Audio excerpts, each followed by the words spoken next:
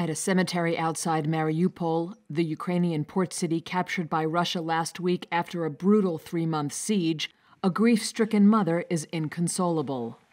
Natalya Voloshina's only son, Vladimir, was killed on March 26th as he was heading to the basement in the family's home.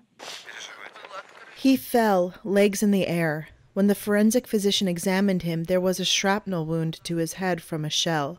Vladimir's godmother, with Natalya at his grave, also stood in disbelief.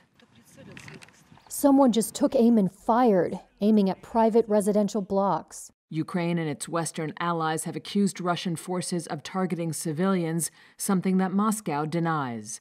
Vladimir, who was 28, had recently graduated from a local naval academy. He was meant to set sail in February. And then the war started, and for no good reason. Mariupol, a once bustling port city in southeastern Ukraine, quickly became a target after Russia invaded the country on February 24th in what it calls a special military operation. After a siege that Ukraine says killed tens of thousands, the city fell into Russian hands and now lies in ruins an exception being its rows and rows of makeshift wooden crosses and freshly dug graves.